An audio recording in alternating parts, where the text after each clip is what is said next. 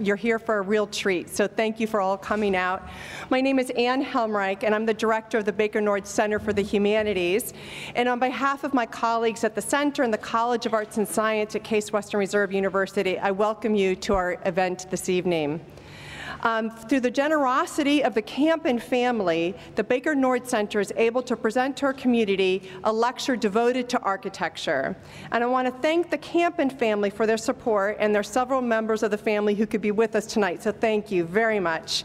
And I also want to acknowledge one of our past speakers, Bob Madison, who I just saw a minute ago, so thank you, thank you. And in fact, there's a number of alumni of our architecture program in the audience tonight, so can we take a moment to thank all these people who support architecture in our community.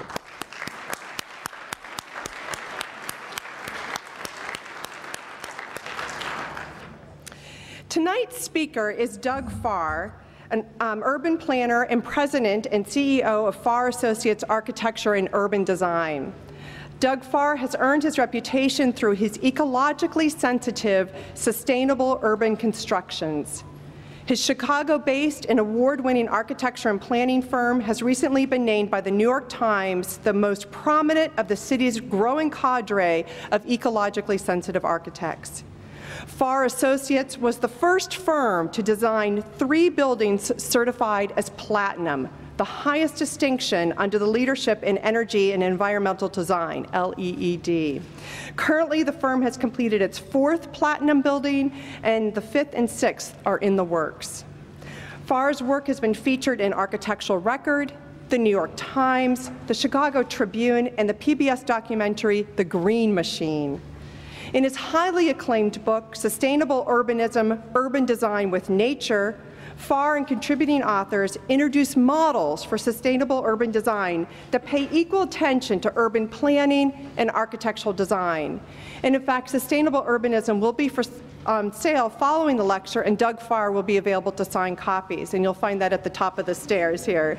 Absolutely. Um, i may be at the head of the line, but if you beg me, I'll, I'll go to the end. Um, time permits me to highlight only a few of Doug Farr's accomplishments, but you can see why we were delighted that he accepted our invitation to speak as part of our theme this year, Cultures of Green, Nature and the Environment, and to contribute to our campus's continuing exploration of sustainability. Please join me in welcoming Doug Farr. I'm delighted to be in Cleveland. Delighted. No place I'd rather be tonight. So who are you? You've heard about me. Who are you? Who's an architect? Who is a graduate of Case Western Reserve Architecture School? Right? Right? Great. Welcome back. Uh, who's a planner? City employee, a municipal employee, elected official, mayor. I guess it's not you. You're the only one. So there's no governors in the in the audience either, right? Um, who else do we have? Who are, who are you? Artists? Developers? It's it's a rare profession right now. So you, you all know that. Uh, who else are you? Who who have I forgot? Students? Okay. Engineer. Great. Who else? That's it?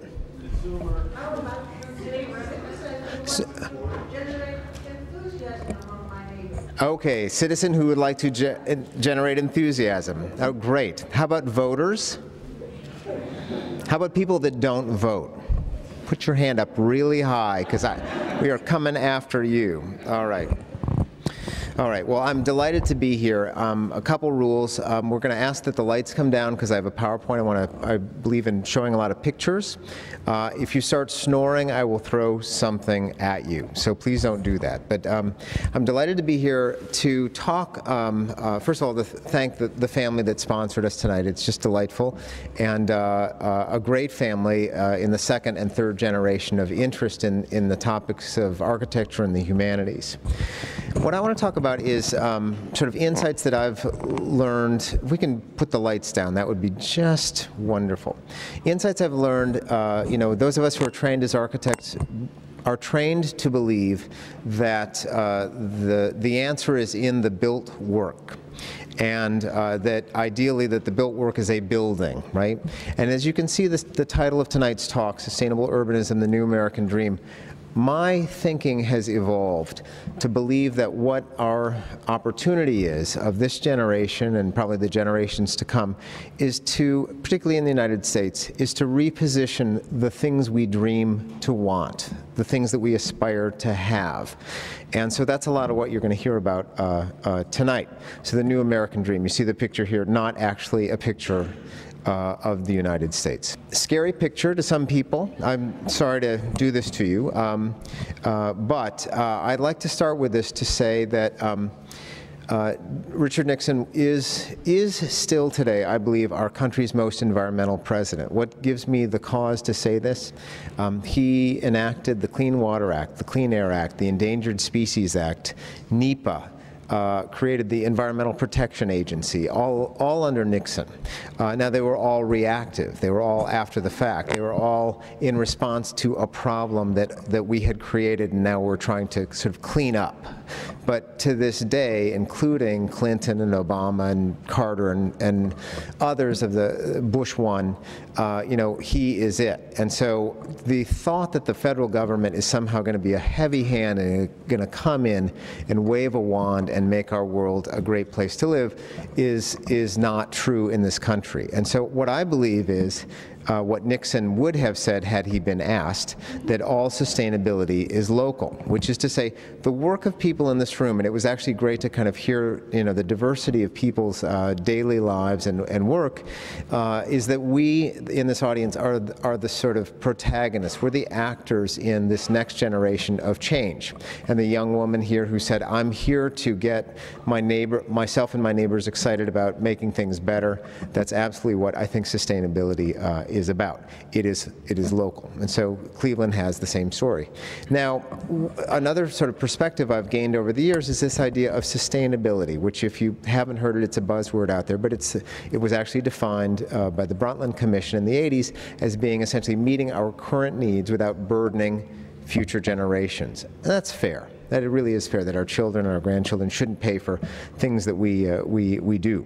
So, but I, what I find is, and this is where I want you to sort of expand your mind. So, you know, check at the door whatever training you had or what specialty you had and think broadly. And, and, and I think you'll get a lot more out of the talk. But that every one of us, myself included, approaches sustainability from some narrow uh, silo of some sort, and that this prevents us from actually getting to great outcomes. And so, for example, I believe that if you read the papers, you can see discern this pattern, which is to say, uh, if when when people report about and talk about sustainability, this trinity often appears: the light bulb, the Prius and the green building. And if only, uh, if only the devices of, of everyday life, these three objects, were more efficient in their consumption of energy, we would have solved it, right?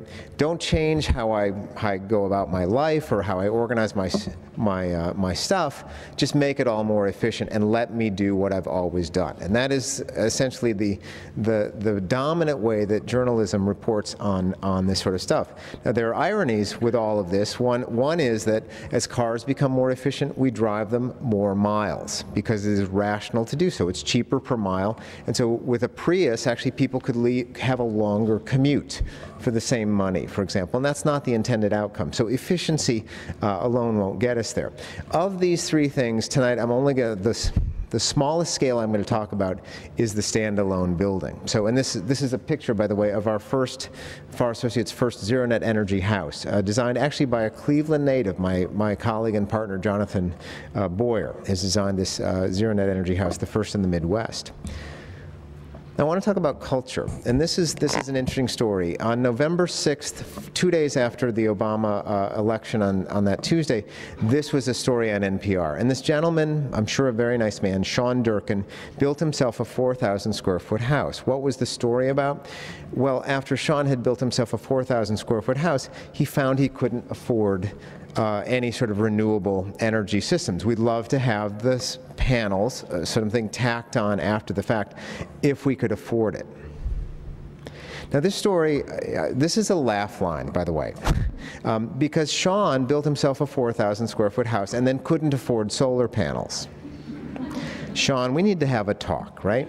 So, you know, if Sean had built himself a 30 800 square foot house, he would have had solar panels. If he had built a 3,400 square foot house, he would have had photovoltaic panels. A 3,200 square foot house, and he would have had uh, geothermal systems. And you, you get, the, get the idea that there's a trade off between size and quality. And quality, in this case, the measure I'm using is one of sustainability. So the house that I showed you, the Zero Net Energy house, costs more but if you, if you can afford the bigger house, you can afford a smaller house that, that does all these right things. And so this is the change of culture, the Walmart culture that we have in the United States, which is we will drive 10 miles to save, uh, to buy the $1.79 gallon of milk which is the American way. It's cheaper there. I, you're not paying more, are you? You're an idiot, right? So, but you know, when it comes to houses and architecture, uh, there is a lot of sort of coupon clipping that goes on in the country. So, so here's LEED. Um, it's a powerful um, tool, right? Uh, and many people have heard about it. I can't see if you, if I were to ask for uh, a LEED, a show of LEED accredited professionals. I'm sure. Shout it out. If you're a LEED AP, who are you? Woo, woo, woo. Okay, a few of you. Okay, very good. So uh, in the mid 90s, uh, a very powerful, influential movement that has really reshaped, I think, the architecture profession. Everyone would agree. Uh, if you don't have a LEED accredited professional uh, sort of initials on your card, you're considered sort of ho hum or you're not competitive or you're not paying attention. There are now 135,000 LEED accredited professionals, which fills the largest stadium uh, we have in this country, and I think uh, in the world. But anyway, a term that was coined in 1996, hold that thought, so it's now 13 years old, which is half a generation. Uh, and it shows you, uh, at the same time, I should say, 135,000 LEED accredited professionals, total number of certified buildings in the world, about 3,000. Now there's, you know, 100 million buildings in the United States, so we've got 3,000 are green. So in half a generation, 3,000 out of 100 million are green buildings. So we obviously we're not going to quite get there that way. Now, get to where we need to go by doing it one building at a time. And then there are problems with green buildings. So look at this. What you have here is a building, the uh, image of the building, this is maybe offensive to some of the architects in the room, but the image of the building has actually been perped out. Why would I do this? This is a LEED platinum building, right? So this is the best green building that we can think of, right? It, it does all sorts of amazing things. But look at where it's located. Oh my lord. So this is this is a land use that I often describe as mixed, mixed land use. What do I mean? Uh, there's asphalt paving to the top and concrete paving to the bottom. So it's mixed, it's diverse, right? And then you see on the right-hand side is uh, what is called a Houston Highway. Now, Houston Highway is a highway where if you see a pedestrian, it's because their car broke down right? So here's the ability to deliver a green building, an object in isolation within the property lines, virtuous, wonderful, saves energy, saves water. Uh, you can eat the walls if you need to. It's that sort of healthy, right? But look at what it's doing in terms of building a place if anything, it's hostile to all that sort of stuff. So the building, the green building agenda, LEED as virtuous as it is, is a silo and this is it's half right and it's half wrong. And I debate whether it's a better thing that this have been a LEED platinum building or the project not have gone forward at all. And I think the latter is preferred. So here's another one. We had an intern back. Remember the when the economy was good? What was that? 07, 08. So we had an intern that summer uh, that we paid to do some research for us, and one of them was to ask the question of the green buildings. Uh, uh, uh one of the most popular areas is green schools, right? So we had this intern do this research on what, what uh, uh, take 10 sample green schools and ask this basic question, which is, what was the nature of the school project? Was it a school from scratch? Was it a replacement school? Uh, all those sorts of things. And what we found was three of the 10 schools seemed to fit this description. Um, first of all, I can't see your hands, but how many people grew up walking to school? So, and then how many, how many did not? And I think you'll see, I can't see you, but if you know, this exercise in the past is the young people didn't walk and the older people did, right? So we've had a generational shift there where two generations ago, 75% of kids walked to school and now it's about 20%, right? And there's, there's issues with that. But so what we had here in three of the 10 sample school cases was the phenomenon where uh, this, is, this was an existing school in a little town called West Brazos, Texas. And it was a neighborhood school no parking lot, all the kids walk to school. What happened? The school, school board got this idea they needed a new, bigger school. Why? There were two schools a little ways away, and they were paying a lot of money for their cafeteria service because they had two cafeterias. So they decided to consolidate them. Where did the school go? Out on the highway, three miles outside of town.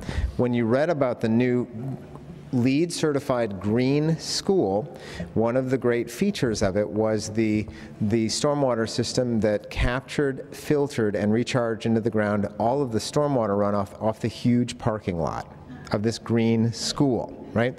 So before, all the kids walked to school, and maybe it was an older school and didn't have as much insulation or quality of windows that we have today, but it was part of a community. It was a building block of a walkable system, if you will. The new green school was oblivious to all of this and destroyed it all. And so, again, here's a green building. It probably got a very nice plaque on it. But I would submit to you that it was better, that the community is a net, it's worse off for having this new green building, right? It's better that this project never have happened, right? Yet we, cl- we clamp on the side of it uh, our, our, green, our green plaque. And then there's laugh slides like this. so, could this be a green building? Absolutely. Could, what would the LEED system ask of this picture? It would ask, are the escalators efficient? Not are they absurd and a bad idea. It would ask, you know, are the escalators made of recycled stainless steel? Uh, and rather than asking, do we need the escalators at all, right? So you could certify this presumably at LEED Platinum if you, if you chose to nowhere along the way does the question come up and say, do we actually need this? Is this a good idea? And isn't, you know, what's what the tubby guy that's taking the escalator to his health club, you know, what's with that, right?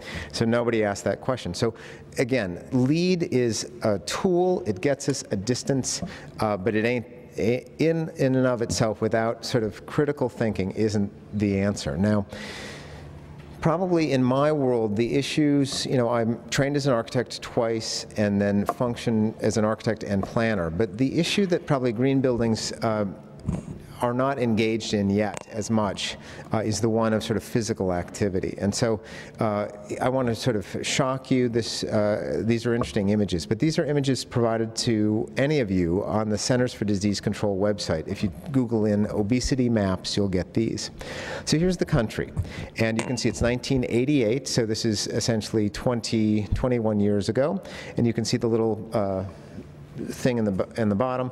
The uh, a lot of states there's no obesity data, and then the two categories are 10%, uh, and then between 10 and 14% obesity. And you can see there's how we do in Ohio. We're in the 10 to 14% obesity in 1988 fast forward 10 years. So the, the chart has grown to include two more categories, and so Ohio has moved up one notch to the 15 to 19 percent obese category, as has most of the country. This is, this is in our lifetimes, everyone here, uh, uh, and uh, uh in the last little bit. So fast forward 10 more years and you see the country. And so you can see we've added two more categories. Uh, again, uh, Ohio has sort of tracked, as it does in presidential elections, tracked the nation, right?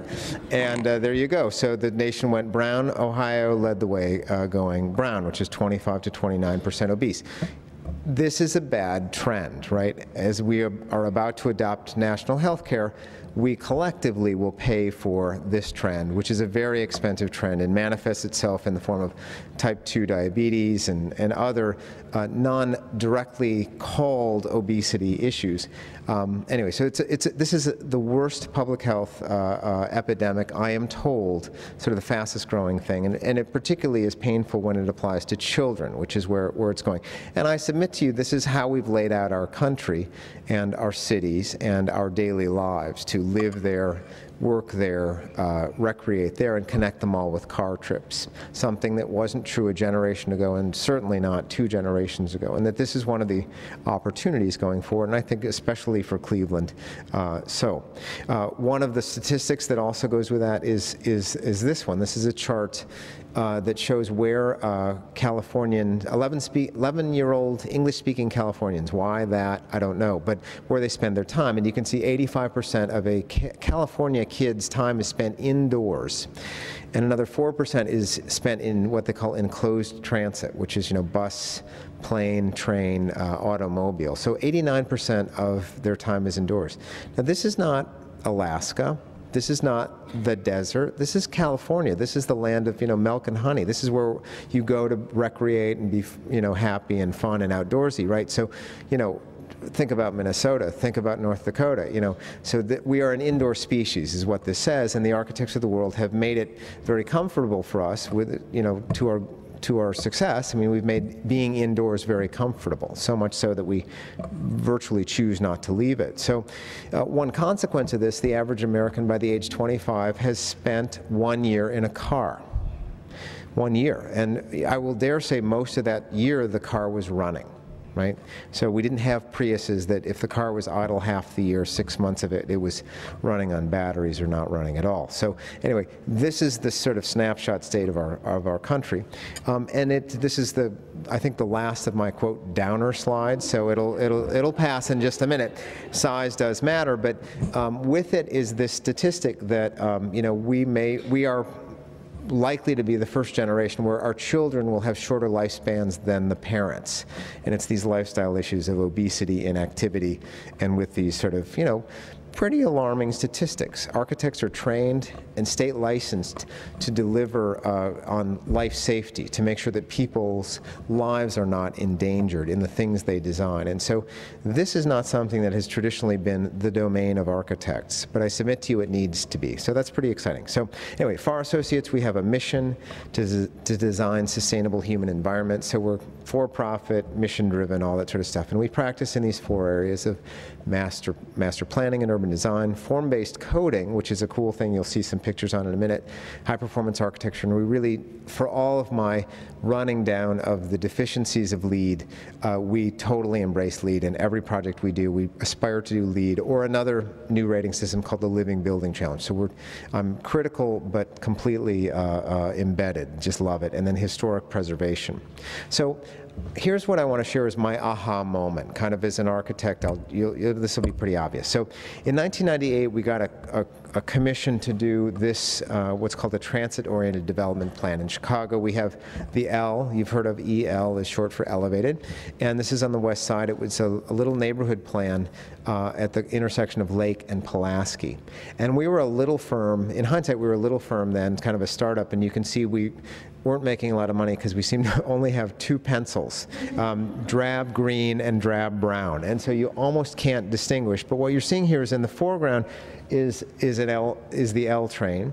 And then you see kind of a, a U shape of buildings organized around a park. And if you can't actually see those things because the drawing's not that good, play along like you do. So, but anyway, so there you have it. And the premise here is that what, what we have in Chicago, and I think Cleveland has this in, in many parts, uh, like Shaker Square, is a little spot where the train stops, and there's always been where, where there's a mode of transportation starting or stopping, or you get off a boat and get on a train, or transfer trains, that's where commerce happens. That's why cities are often founded uh, at the crossing of two railroads or the, the thin patch of a river, things like that. So we are designing this. And so we thought of this as a really sustainable project. What was sustainable about it? It was bringing um, economic activity to an inner, uh, kind of an overlooked inner city neighborhood in Chicago. It was providing goods and services to a, a, depopulated neighborhood that hadn't had them in a long time, sort of shopping, uh, restaurant, uh, dry cleaners, daycare center, things like this.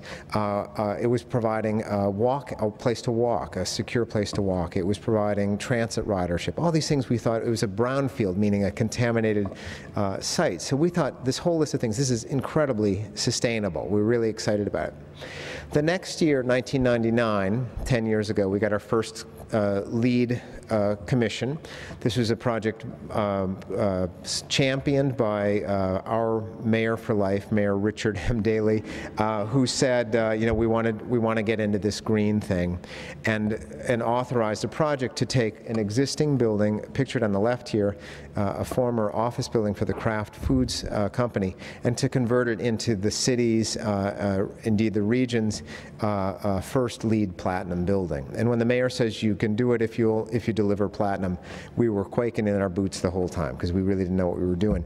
Uh, it was the world's third platinum when it was done.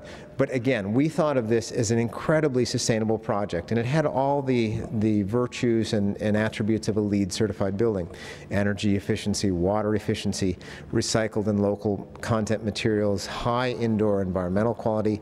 We policed out all the toxins from the glues, adhesives, and sealants, things like that. And, uh, uh, uh, and then it was in a, an existing site, transit served site. And so we thought this was an incredibly sustainable project.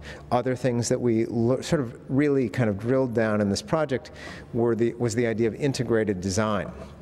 Integrated design is the simple idea that you have components of a building all of which do more than one job. So, for example, in the picture on the left, we have uh, solar, photovoltaic solar panels mounted above the south windows, south-facing windows in this building, and they do double duty, maybe triple duty. They uh, generate electricity. They are mounted at an angle such that uh, in the in the wintertime when we are we would welcome direct sun penetrations in the window, the angles allow that. In the summer when we want to shed heat, uh, it's designed that way. It also keeps water off the steel lintel at the top top of the window and I think uh, uh, lengthens the life cycle of that facade. So there's, there's an example of integrated design, a component doing multiple things.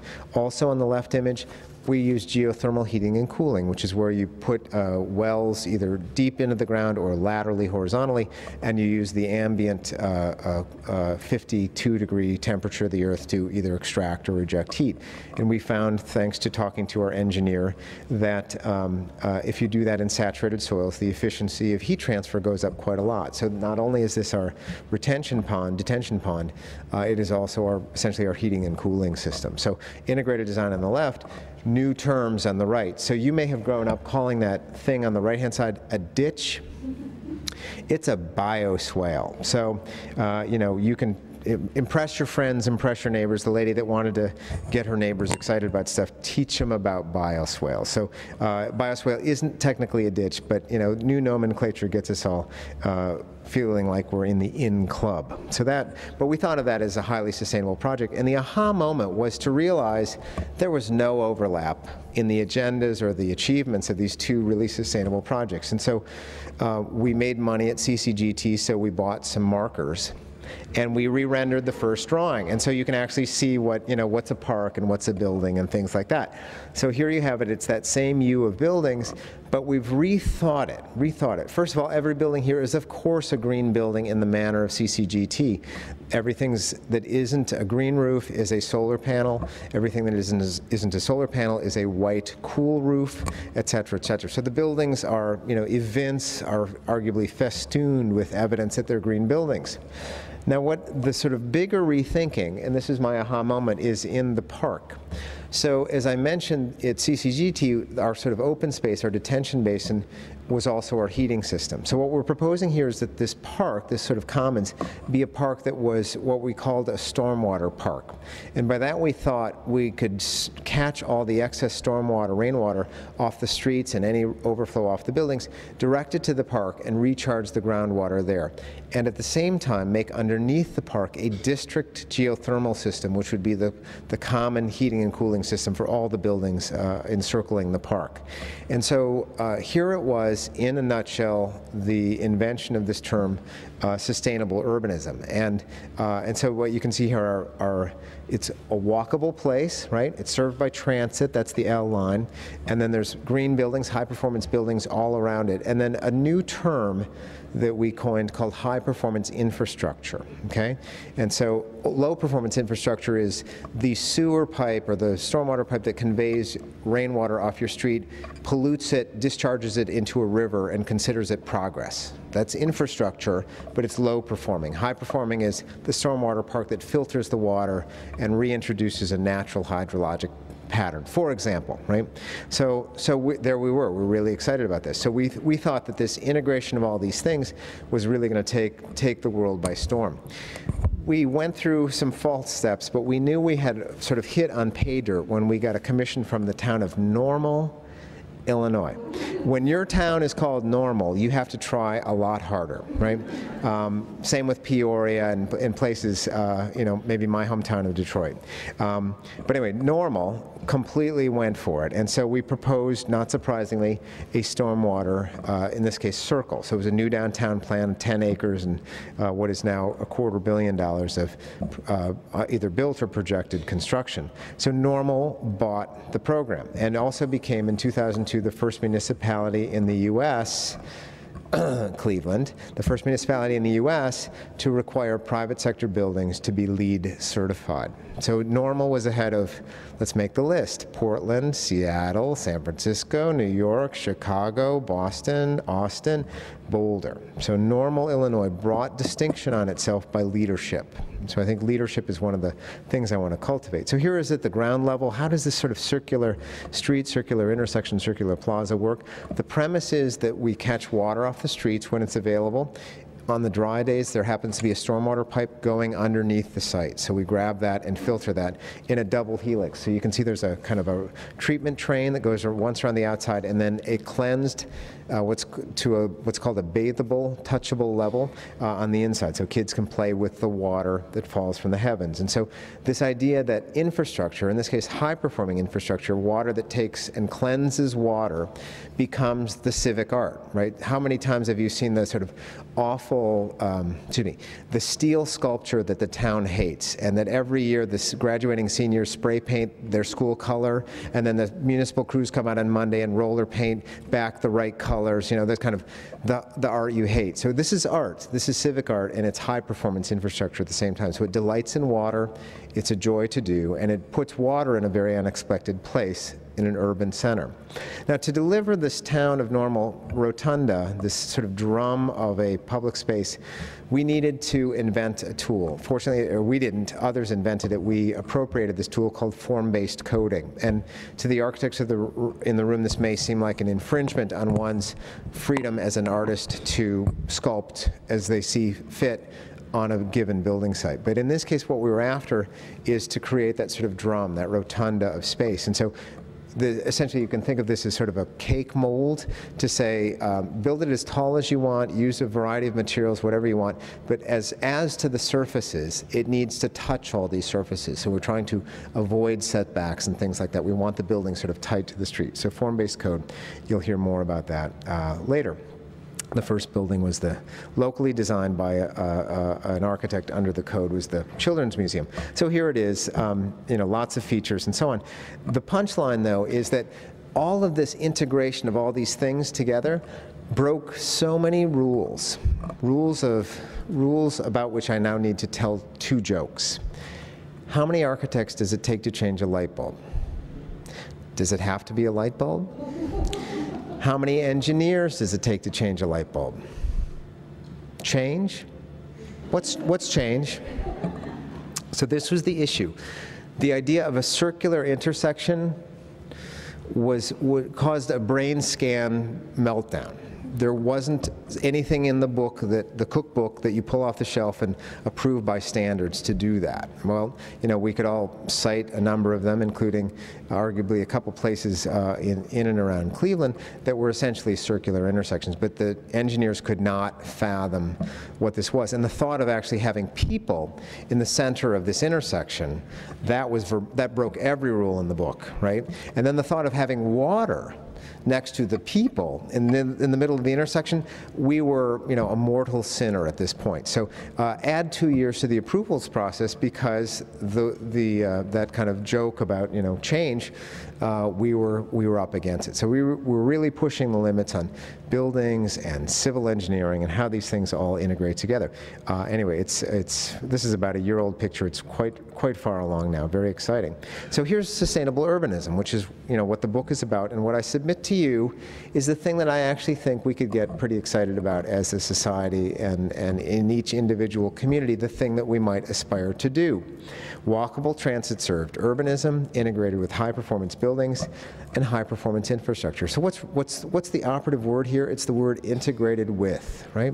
That these things are interdependent, right? They, they rely on one another to function. And this is very much stolen from Europe. I mean, this is essentially the trend that Europe's on, uh, you know, many cities aspire to sort of look, have their bones that point to Europe, that, that the best places are, are uh, uh, urban in the way that Europe is, and so on. In sustainability, the United States is between 15 and 20 years behind Europe, and so this is in some ways, you know, back to the future stuff to say this is the, the direction, the trend we want to go. And it especially makes sense when there's a master planned uh, development or redevelopment going on. So equipped with that sort of aha moment and this sort of armed with this definition, we sat down to write the book, and it was it was a great uh, experience. It was a top-selling planning book of 2008, which doesn't mean you really have to sell that many copies. I mean, planning books, you know, a bestseller is, you know, Michael Crichton here, planning bestseller here.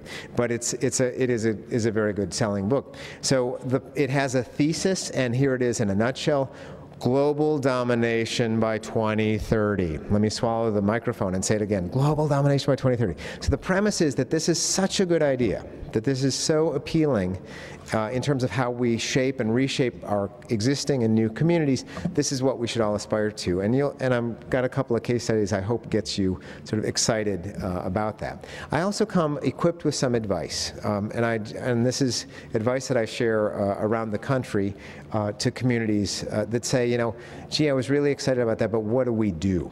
And so here's, here's my advice. So you didn't ask for it, but I'm going to leave you with it. So step number one is initiate an aspirational development. And, and you'll hear about this in a minute. So this is an idea of like, take something and you say, let's not do it like we did it last year or 7% better than last year. Let's just, you know, aim, swing for the fences, aim for the stars, whatever metaphor you want to choose. So at the back of Sustainable Urbanism, which will be for sale after the lecture, um, uh, there are case studies, and I want to talk about uh, two of them. But before I do, this idea of sustainable urbanism and the kind of nature, the nature of master planned projects, we thought, we asked the question, gee, is there a minimum size? Does it have to be big, and does this sort of prevent it from being actually that, that widely adopted? So the first, the answer was no, and what we found was these are drawings, plan drawings to scale of one, two, three, four, five, six projects that range as small as a quarter acre and as large as thousands of acres. So size, and unlike the prior slide, size in this case doesn't matter. But there are two I want to talk about. The first one is called Dockside Green, and it's in Victoria, British Columbia. The project is, I believe it's 15 acres, and uh, if, if I get it wrong, please correct me.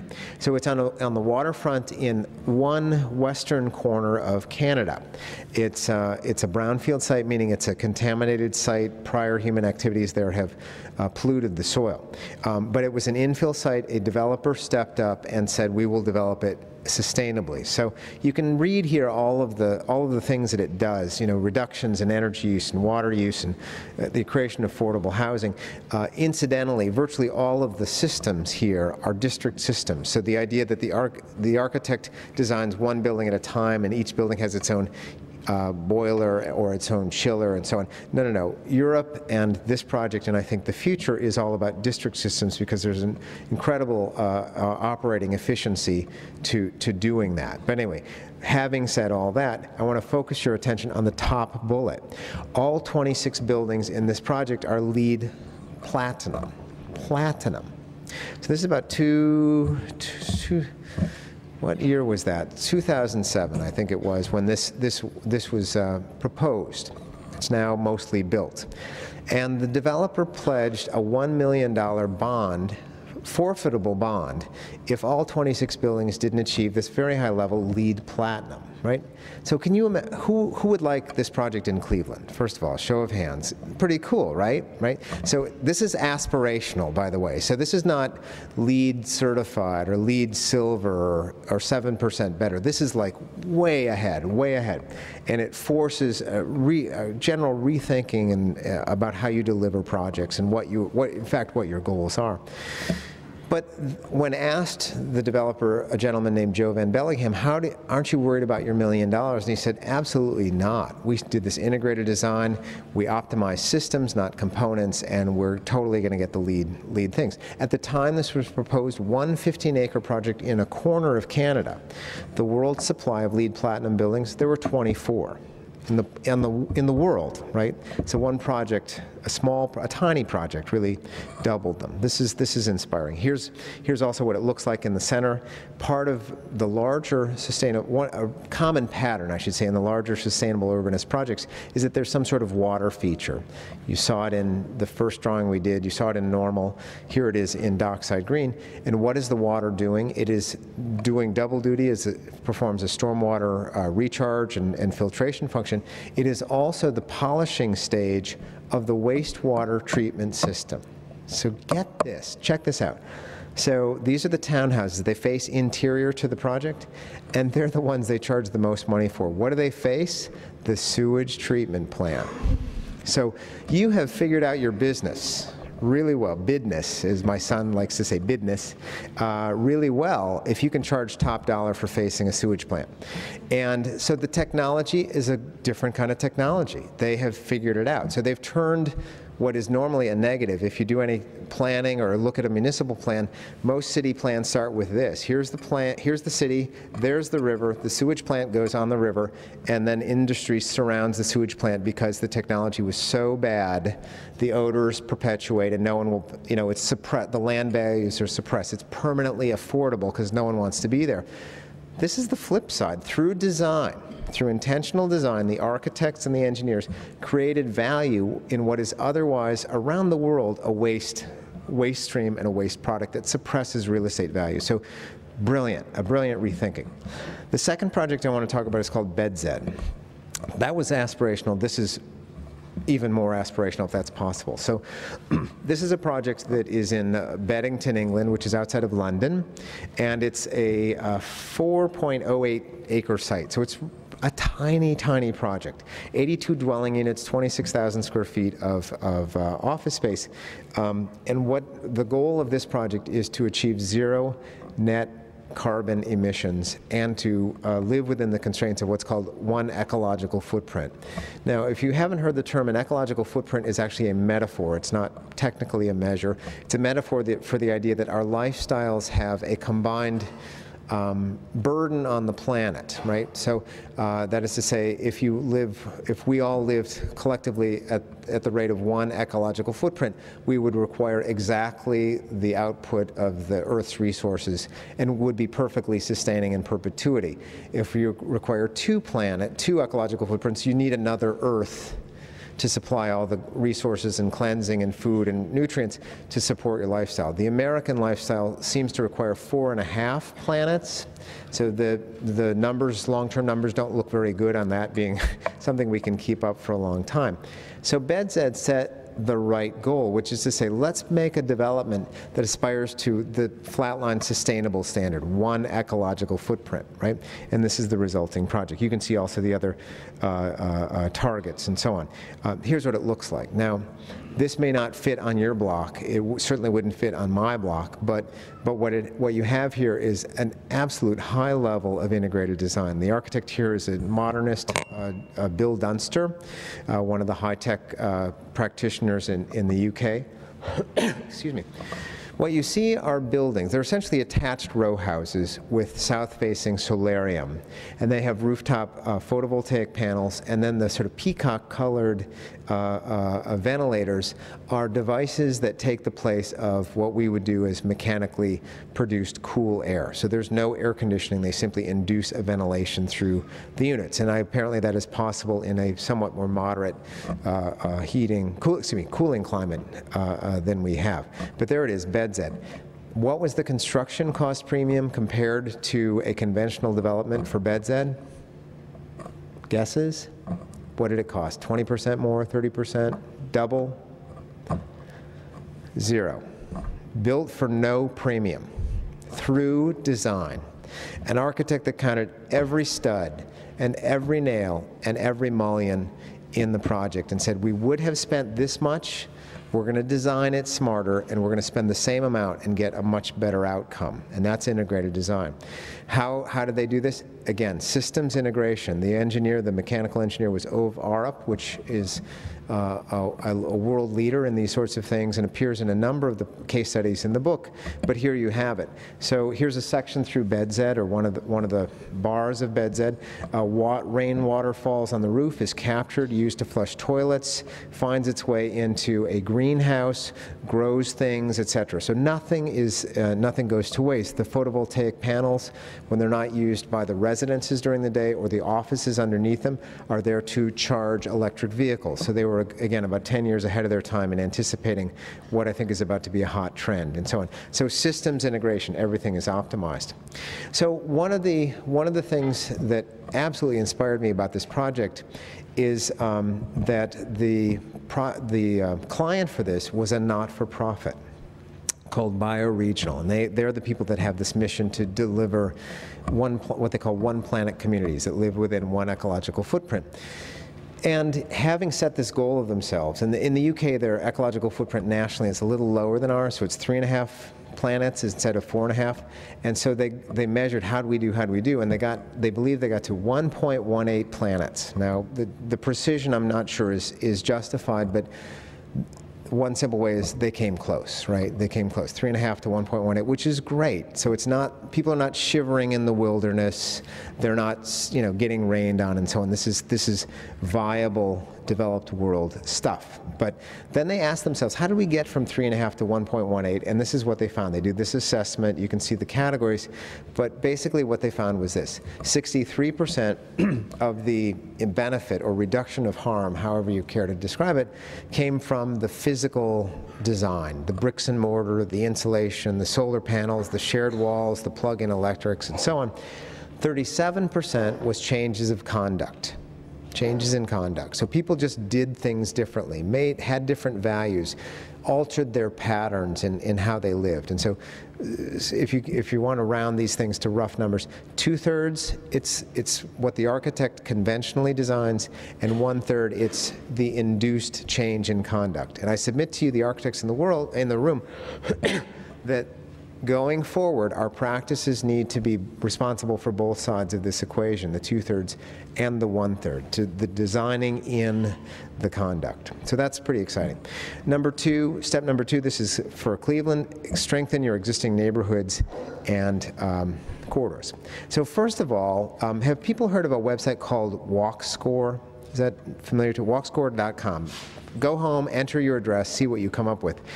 As a preview of this, I wanted to acquaint you with the tool and show you the walk assessments of three communities in uh, metropolitan Cleveland. One is downtown uh, Cleveland, which I think takes us right to uh, Terminal Tower or so. And it's on a 100 point scale. Downtown Cleveland, 98 out of 100, very walkable. The second one I chose was Shaker Square, 92 very walkable. So these are places that we think of you would go and you would see people walking uh, and so on. And so those are, those are assets. Those are good places uh, that we should invest in. Um, we struggled to figure out what the third one ought to be. We picked a place called Avon Lake. I don't know where it is. I apologize. But it didn't do as well.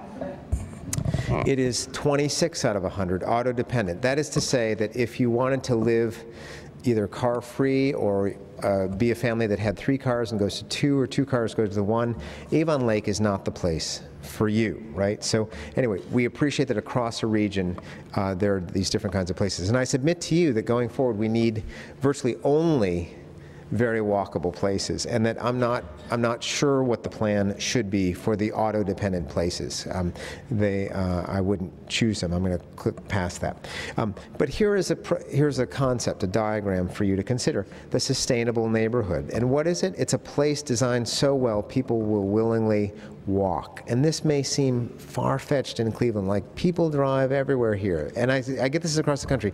Doug, other places maybe, but not here, right?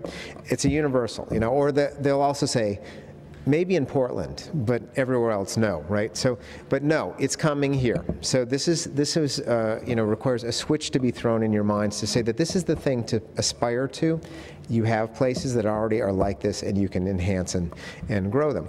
Now, one of the things that the book is dedicated to was this idea that, well, what, you know, what are the rules of thumb of making a walkable place? And so the middle section of the book is devoted to this thing called these rules of thumb, designers' rules of thumb about how the different human and natural systems work together. And I'm going to illustrate a couple of them.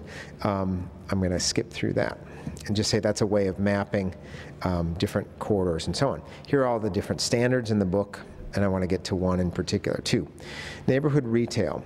A lot of people who grew up with a corner store on your block. Few people, and now the young people probably not. So uh, I had one, you know, two blocks down in Detroit, and the, my sense going backwards as I've remapped my neighborhood, there was one corner store, and in our case, it was a family that lived above the store and when you'd ring, come in and ring the door, and I was always buying candy.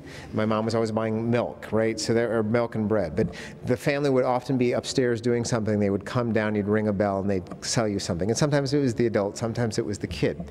And this is two generations ago, or one and a half. So, but neighborhood retail, and that was a nice thing. It allows you to not have a car and get that quart of milk in the middle of the day, or the the diapers, or, or whatever it was. Um, anyway, so the question that I posed to an expert, Bob Gibbs, who provided this in the book, is how many households do you need within walking distance to support a corner store in 2007 when the book was written, or 2009? Uh, the numbers haven't changed. To support a little corner store pictured here on the top, you need a thousand houses today. A thousand houses. Well, guess what? If you apply this across uh, the neighborhoods in, in Toledo, excuse me, in uh, Cleveland, or Toledo, or Detroit, or frankly most of Chicago, we don't have enough density within that neighborhood unit to support those walk-to options. So we consequently we don't have the walk-to option. We drive, and so and here's the other sort of requirements. These are the rules of thumb. And so if you're a city planner, if you're a mayor, or if you want to strengthen your neighborhood, get your neighbors excited, we think that one of the great opportunities is to add density. And one of the best ways we've seen around the country to do this is to change one zoning code to permit this, what we call invisible density. These are coach houses. On the left, it's an actual garage with a unit above it. This could be a studio. It could be what's called, no offense, a granny flat. could be grandpa flat too.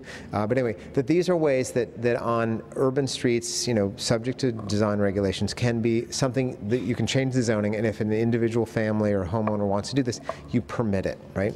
Um, and, and these can offer housing choices, a lot of affordable housing and so on, and add that needed density to begin to support those walk-to destinations. Now, another standard that I want to talk to you about, so that's a standard in the book, you know, how much, you just look it up. Here's another one. So we did a master plan, a smart growth master plan for Toledo, Ohio.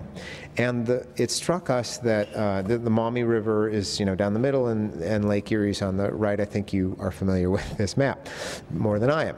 Uh, but one of the questions we had was, how about the parks in Toledo? Because they, they like Detroit and like, like Cleveland have had a depopulation. And so there's a lot fewer people living there now than were there some days. So there's available land. So the question in, a, in any kind of plan or master plan is, could we make more parks as we're doing all this stuff? And where would they go? And so we did this map, and these the green areas obviously are their existing parks. The white areas around them are those places in the city that are a five-minute walk from the park. And then the sort of charcoal, the rest of the city, more than a five-minute walk from the park. Now, what this tells you is there's a lot of Toledo, Ohio that really isn't served very well by parks. At the same time, the city has lost a lot of population and has a lot of vacant land. So these two things strike me as an opportunity. In the book, you know, we say, well, that's intuitive, that's sort of a neat idea, uh, but you know, what, how, how do we know that there's actual value behind this? So in the book, we cite this study. It's an MIT real estate school study that basically says this, if you are if you can read this at all, this is a, a, chart that says the sales premium that people will pay for a house based on its proximity to a park. And, uh, you know, double-blind study, regression analysis, the whole bit.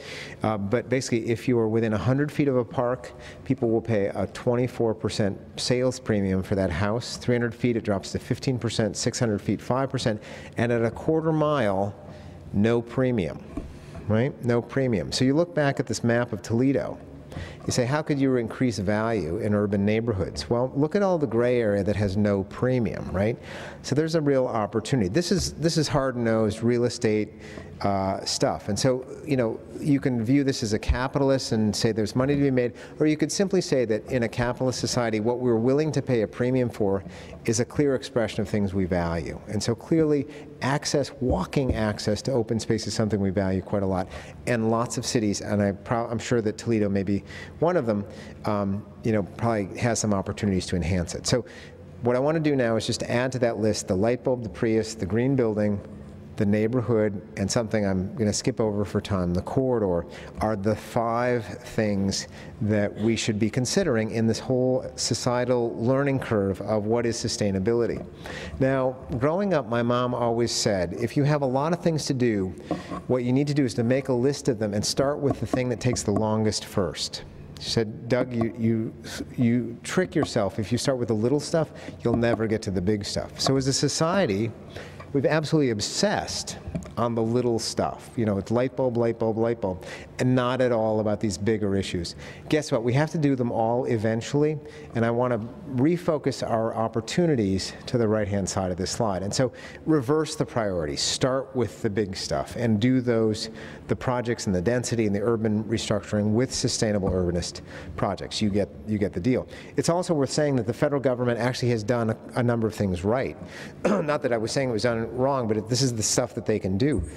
The standard Edison A lamp is now, you know, outlawed in 2012. In three years, you just can't won't be able to buy them here. So that that efficiency argument is ticking these things off our to-do list. Uh, the CAFE standards going in 2016, but when will we get to the land use? And so that's in, in part what I want to talk to you about tonight. Number three, this is something that is fix the rules, which is uh, ask for the right things. This is a down market in real estate, and I, I don't mean to I have no judgment about that, other than to say it is a strategic time, if we look at what we can do, to fix our rules. Rules, what do you mean? Development controls, zoning, building, all the, many of the things that are the physical side of the places we live in, and uh, and and I'll illustrate what I mean. This is uh, an aerial view of uh, what used to be called sprawl, uh, what could also be called auto-dependent development places. Basically, if you live live there, uh, and uh, want to go there, it's a car trip. Everything's a car trip, and that's by design. And there's plenty of our, most of our country is zoned to deliver this as the, the easiest thing to get approved, right? This is the time to fix the rules and, and get less of that. Now that's on the suburban end. On the city end, uh, we are working with the city of Denver, the, the District of Columbia, city of Chicago, and others on their zoning codes to reverse things. So zoning codes and the architects suffered with this for two generations. A, you pull out, the, you get a commission to say, design me a building, and the first thing the architect does is pulls out the zoning code and says, how much parking do I need to provide off street?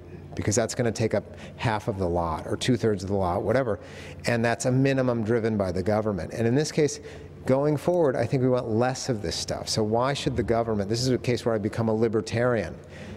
Government hands off. You're asking for the wrong stuff you're adding expense to projects. Let the developer or the project prove that they need it.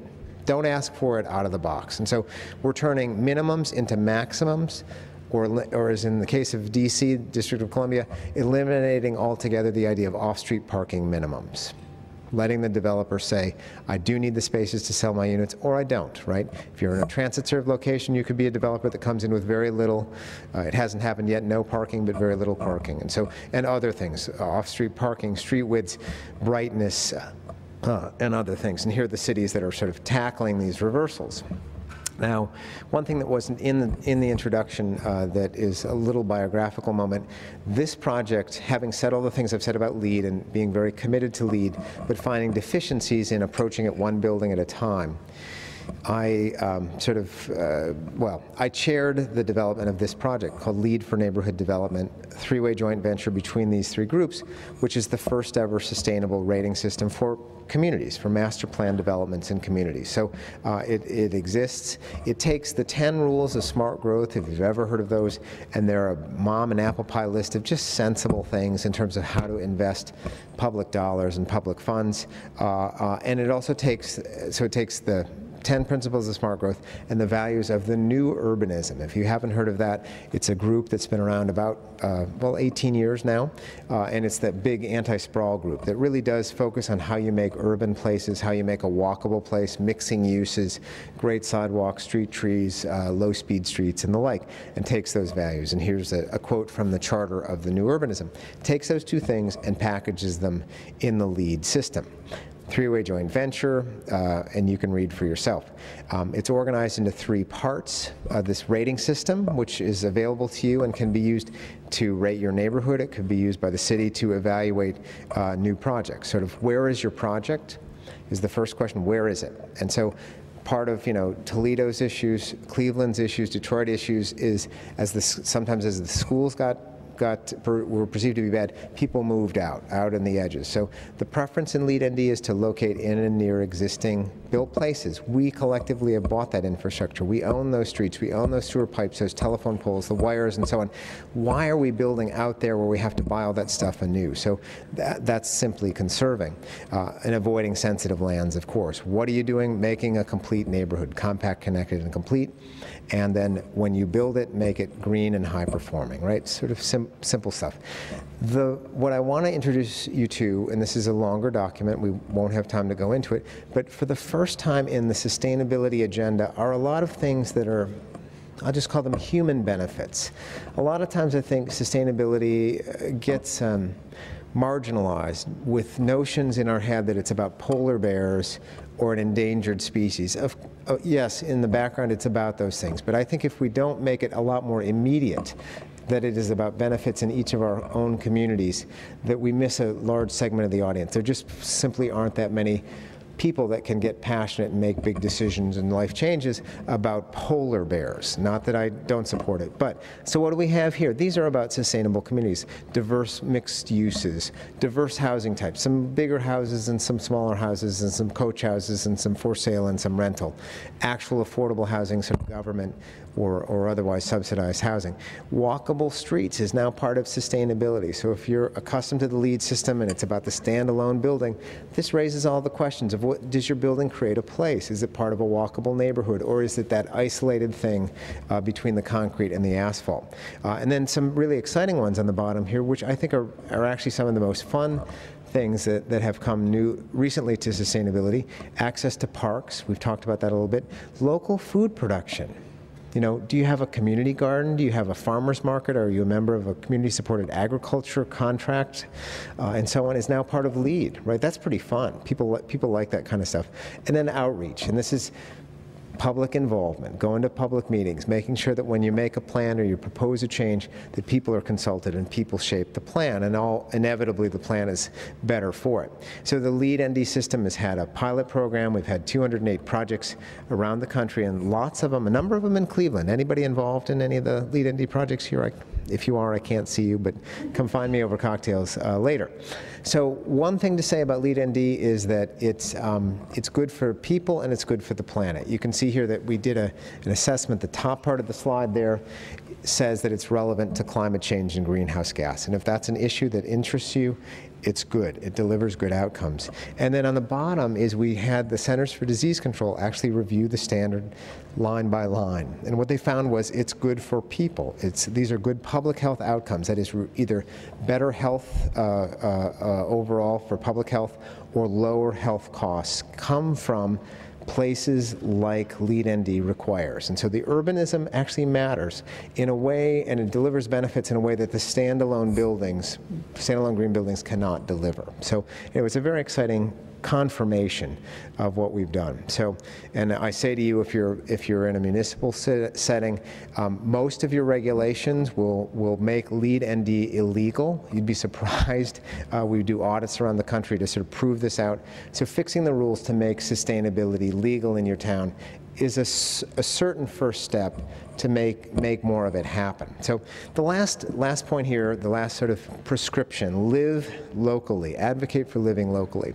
So I think there's a, there's a lot of sides of this, but I think it goes back uh, to this one idea that. You know, what is sustainability about? There's one, one sort of set of expectations that it's a Buck Rogers set of inventions, like I've said, that will somehow fix our technologies that we can go and still fly around everywhere and not harm the planet. There's another point of view that is that says, you know what, it's probably going to be some of that, and then it's also going to be some looking back in in history to an earlier pattern of human, how we organized our lives on the planet, right? Whether it's 50 years ago or 100 years ago or 200 years ago. But I, I submit to you that the walkable, local living is absolutely going to be more of the future and, and not less. And so local living uh, is, is part of it. So we've started this thing called the Communities Cam 2030 Communities Campaign and trying to put out there the idea that that used to be the on Ozzie and Harriet nuclear family, two adults and kids, dr big driveway, one car per adult was the American dream. Uh, and it's gotten us a lot of material prosperity. It's also now the problem. And so we've got to rethink what we want. So submit, so uh, follow, follow along. This is inspired by this friend of mine, Ed Mazria, who created something called the 2030 Architecture Challenge, and it's been adopted. I don't know if it's been adopted in Cleveland. Somebody may know by the city of Cleveland or by other organizations, but it's essentially a set of energy efficiency targets for buildings. And uh, we at Farr Associates have embraced this. We're members, we are affiliates, and we've figured out how to make buildings that do wonderful things energy-wise. So from left to right, 50% better than code, 55% better than code, 71% better than code, and then, as I mentioned, our first zero net energy house, it actually produces more energy than it consumes. So we've, we love this, we've figured it out, these are off-the-shelf components, and so on. So the thing that seemed, when it was proposed, these sort of, uh, the 2030 challenge, I failed to mention the punchline, which is by 2030, Ed's protocol says that every building built will be a net zero building, meaning it will produce more energy that, than it consumes. And when Ed said that four or five years ago, I thought, you know, you know, I don't think there was one building in the country that did that. And now there are obviously a number, and we've actually done our first. And so this is technologically possible. It's financially within the reach of a number of people that don't wouldn't, don't necessarily value it, but could certainly afford it. And so the ch change of thinking that comes with setting a big generational goal, I think, is what we're what we're about here.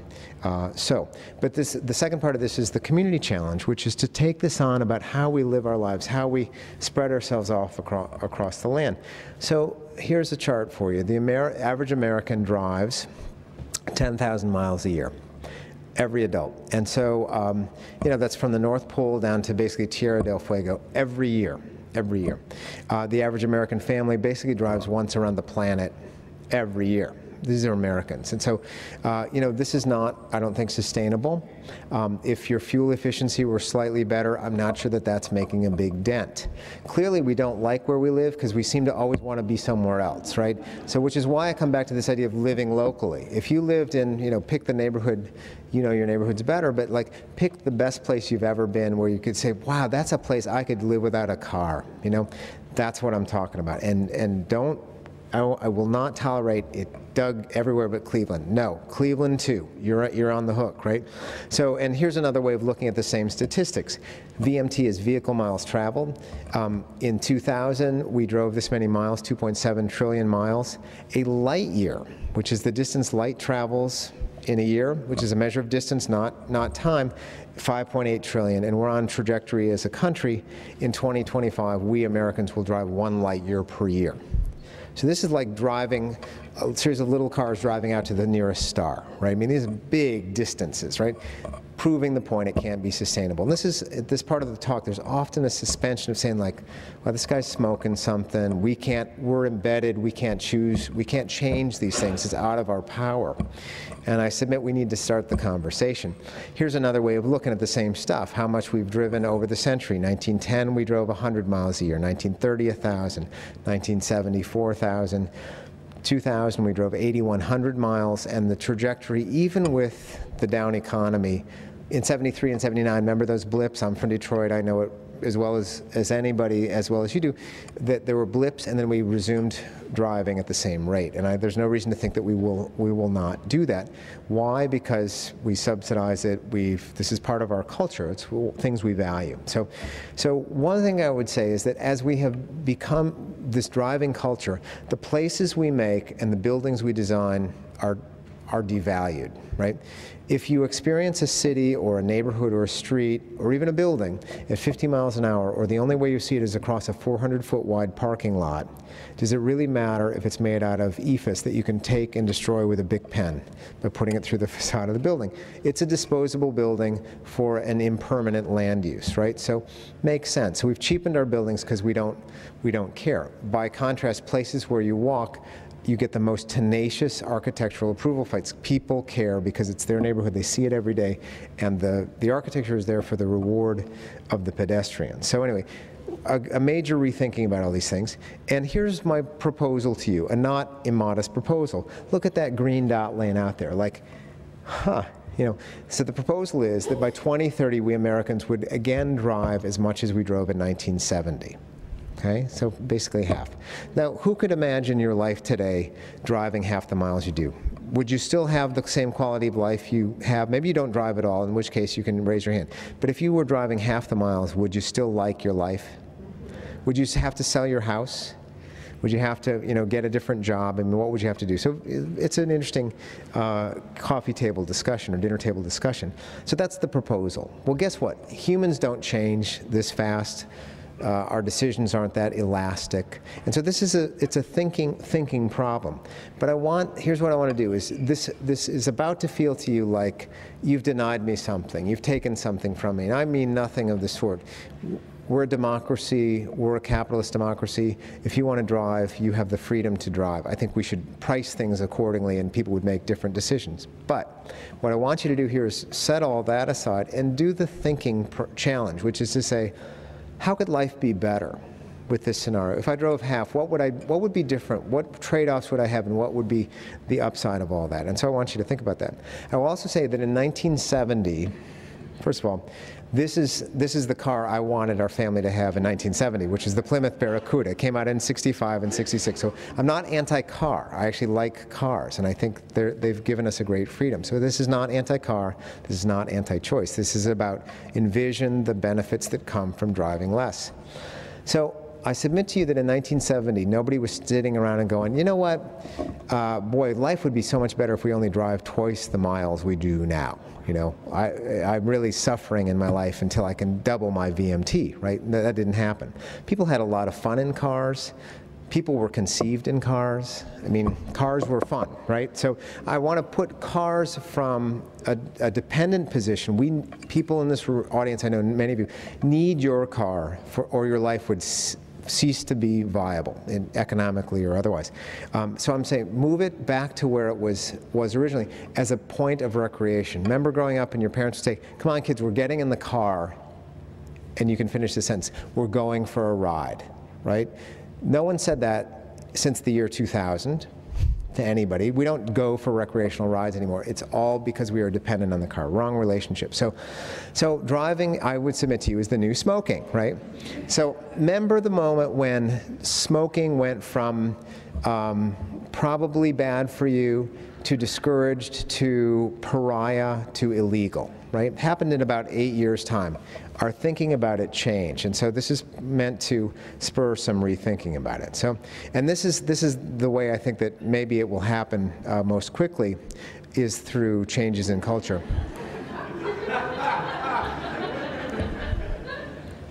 So the idea that somehow if you drive too much, you're just not hot. You know, I don't want to date you. You're not going to sleep. I'm not sleeping with you. You drive too much. That is culture change. So that's what we want more of. And if you buy a book tonight, special deal, you'll see this. If you buy, buy a box of books, I'll give you anything. But if you, but if you buy a, a single book, um, you get this button. and I don't have them with me, but I will just say if you if you want one, I can arrange to mail some of these. This bumper sticker. And so the, this is, um, as you can, as you can see, you know, we had the downer slides in the front and the happy slides at the end. But I do think that um, revisualizing what we want and realigning our values uh, goes a long way. And my ideal is that Toledo would have many streets and many centers and downtowns uh, that look like this. Thank you. William McLaughlin. I've worked for the city of Cleveland for 34 years putting orange barrels on streets, basically the street reconstruction repair. And us engineers and you architects aren't very political. Sure, you could uh, design a very sustainable platinum lifestyle in Cleveland, but you also have to look at the biggest downfalls, the quality of the school systems and other services. Unless you get into that, you can do everything you want, perfect, but no one will buy into it due to forces beyond our control. Very good. Thank, thank you. I asked him to pose this question because he posed it in the lobby, and schools is a huge deal. Um, It was a general type of question. He didn't yeah, yeah. plant it. Well, d- d- let me let me let me just say this sort of at the highest level. Um, in this country, those of you who know this, we are expecting another 100 million Americans by the year 2045. Right? That's that's sort of done deal, right? It's just a question of where they go. And uh, that's one. Number two is we know another thing demographically, and that there's a lot of empty nesters, people who don't have kids at home anymore, whose houses are ill suited to their lifestyle. Many of them live in the suburbs. They had big lawns for the kids, and now they don't care to mow. They don't do eaves. They don't do plowing. They don't do painting. They want the, the lower maintenance lifestyle. So the, the empty nesters want to live in cities. So do the 20 somethings. You graduate from college, the last place you want to live if you're single is on a cul de sac. Why? You can't breed with anybody. There's nobody there. You can't meet them, right? So you go to a city, you put on black, and you go to bars, you get inebriated, lower your defenses, and you breed, right? And that doesn't happen on cul de sacs. So, so the good news for Cleveland is it's got good urban bones, and the demographic bubble is coming your way. And the gentleman, your first name again? William, um, made the crucial point, which, and mind you, the two groups I just mentioned don't have children, and they don't go to school, right? Or they don't need public schools yet. So, but it is a, an enduring issue, and there are two tracks on this. The school choice voucher thing that was championed by John Norquist when he was mayor of Milwaukee, which says if I pay city taxes, don't make me go to the neighborhood school if it's a bad school. Give me a voucher that allows me to shop so that my kid can go to the school that's best for them. That's one model, and the other one is to do charters. Anyway, so there's there's innovative models. I own a 90-year-old house a mile and a half from here. And what do you think of the idea that the most sustainable house is one that's already built? Sure. And in a neighborhood of 90, 100-year-old houses, if neighbors were to get together and want to become more sustainable, what would the first three things you tell them to do be?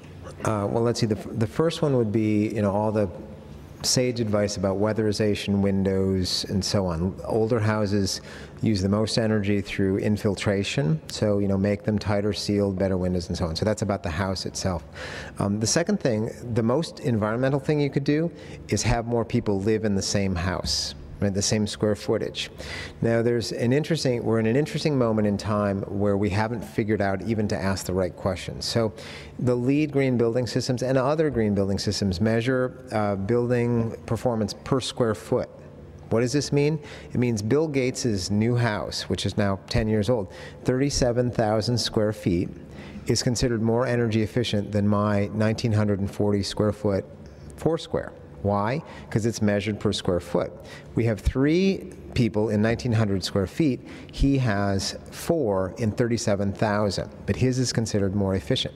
So if you could take in a border, or and this this is there are architectural issues and context issues that I, I am not glossing over, but um, uh, you know the example of Rochester, New York comes to mind. I don't know if you know that story, but when Kodak and Xerox and all of the industries that really propelled their, their economy happened, they, they, they um, house that population in the same building stock. So they, it's what happens in a lot of places. The big mansion gets divided into apartments, and suddenly it's not a one family, it's a three family or something.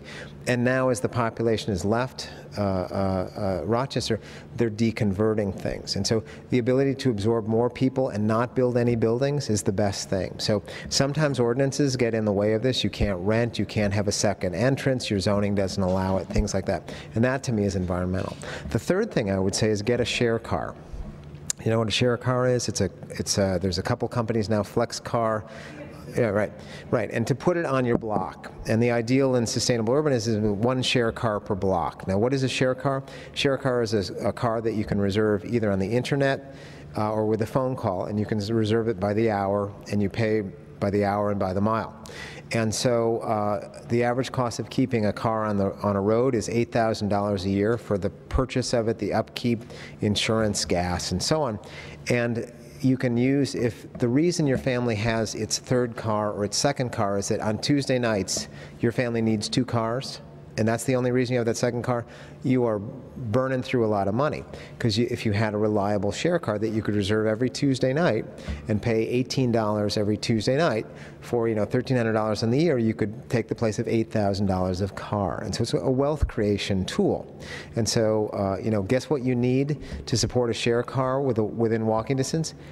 Density you need enough density. So if you live on one acre lots or two acre lots or five acre lots, a share car won't work. There aren't enough people that can walk to where that car is parked. And if you need to drive to the share car, you don't need the share car because you just drove there, right? So, so anyway, this the layering of density on urbanism and then the integration of high performance buildings and infrastructure you know, it's what Europe does. It's what I hope we do more of. And I think it's really good. There's profit making potential here.